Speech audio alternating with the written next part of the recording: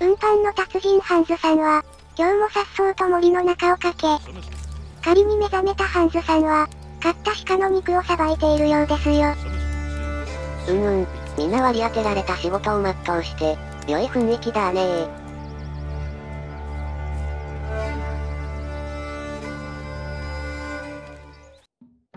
最初8本あった木材も、残り3本となりました。木材が尽きる前に、伐採場を建てる必要がありますよ。それは間違いない。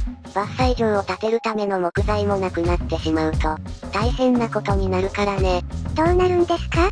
すでに建っている建物を壊して、それを資材とするんだよ。わわ、それは非効率ですねそうならないように、木材が余っているうちに伐採場を建てましょう。伐採場、労働者たちが木を切り倒し、木材を生産します。伐採場はやはり森の中に建てますか？いや、村の中心地に建てましょう。え、なんでですか？森から遠いと効率が悪そうですが。確かに伐採をする効率は悪くなるだろう。けれど木材は伐採して終わりじゃないんだよ。どういうことですか？伐採した木材は主に建物を建てる時に使う。建築現場から遠いとそれはそれで効率が悪いでしょう。確かにそうですね。伐採場は伐採した木材の材木この役割も担うので、村の中心に建てた方が結果的に効率がいい。おお、なるほどって他の地域の領主が言ってたよ。で、受け売りかい。まあ物は試し、村の中心に建てて様子を見てみましょう。わかりました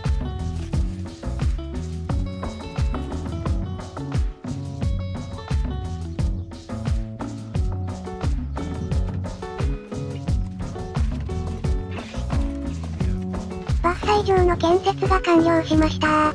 よーし。ではこれからの人生を、木こりとして歩むことになる家族の割り当てと、伐採地域の指定を行おう。おお、伐採地域の指定ができるのですね。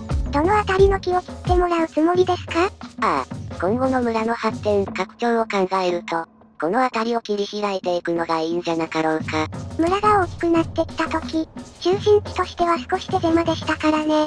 ピーターさん、頑張って木を切り倒してくれたまえ。この村の発展は君の手腕にかかっている。あとはピーターさんの心強い味方として、牛のジャコブも割り当てておこう。おお、牛を伐採場に割り当てるとどうなるのですか？伐採された木材を伐採場まで運んでくれる。伐採場を材木庫として活用するために、森からは離れたところに建てたからね。森で切られた材木を、村の中心地まで素早く運ぶのに、一役買ってくれることでしょう。なるほどこれで生きていくために必要な食料と、建物を建てるのに必要な木材の供給路が確立できたから、次はいよいよ住むところ、住宅を建てよう。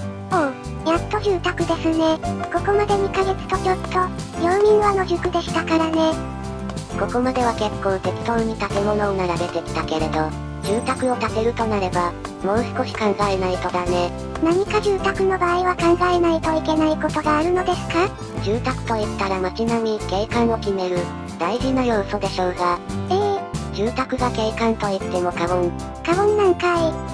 しかも機能面ではなく景観のためなんですねまあまあ、住宅が景観の全てとは言わないですが、やはり大事な要素であることには間違いないので、雰囲気を醸し出すためにも丁寧に整備していきましょう。までも、綺麗な街並みの方が、移民が増えるかもしれないですしね。張り切ってやっていきましょう。街の中心は市場通りにしようと思います。いいですね市場を中心に街が広がっていく感じですね。で、その周りに住宅を建てていきます。雲の巣っぽい街並みになりそうですね。とりあえず住宅は現在いる家族分、5棟建てておきましょう。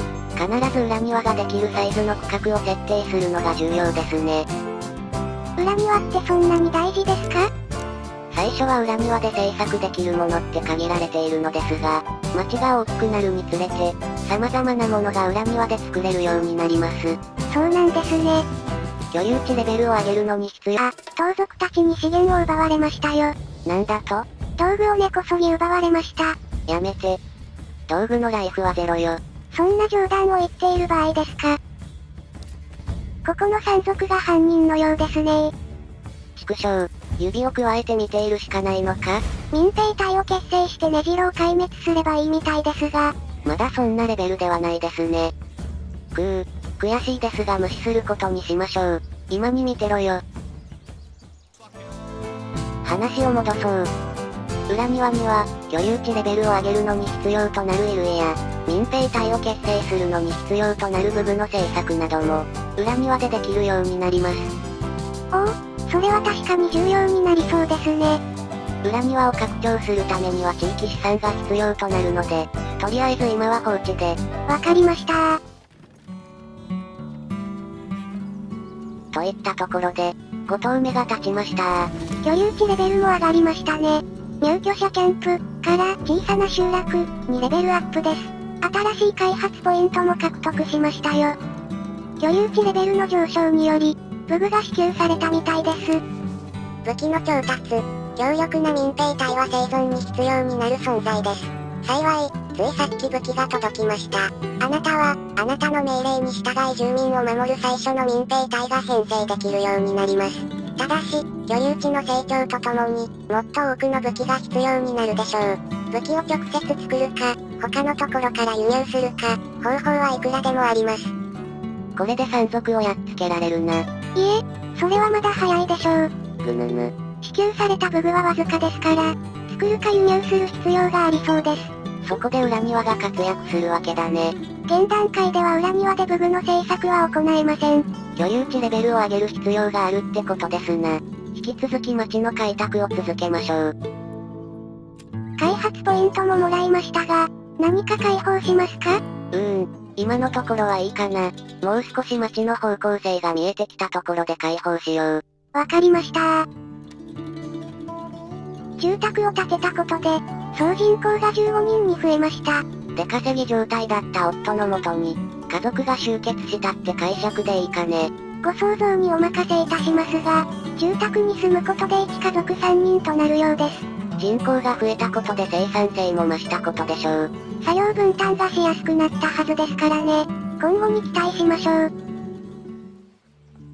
さて、食料の供給ラインが確保され、住まいが整ったとなると、次は何に手をつけるつもりですか？衣食住で言えば衣類とかが考えられるが、その前にキャンプに残されている、テントと杭を。って、あれ？テントがなくなっていますね。最初のご家族分の住宅が建ったらなくなっちゃうのでしょうか？そういうことなのかもしれないね。まあテントは特に必要ないので良いでしょう。杭は中心地に移すことにします。こんな離れたところに牛を飼うのは非効率ですからね。ついでに雑に引いたこの道も削除しておきましょう。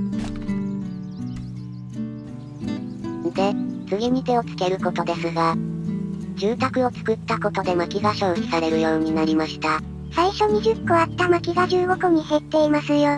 住宅1棟につき、1ヶ月で1個使うってことでしょう。薪を作るために木こりの小屋を作りたいと思います。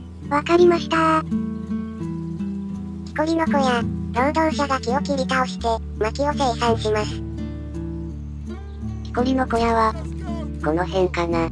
結構住宅区画の近くに建てるんですね。薪は今のところ住宅で使うことが多いからね。住宅の近くに薪置き場があった方が便利でしょう。なるほどでも実際のところは、この木こりの小屋から薪を持って行ってはくれず、一旦市場で露店を経由してから配られるみたいですよ。なんですとま、まあ市場の近くに建てたってことで。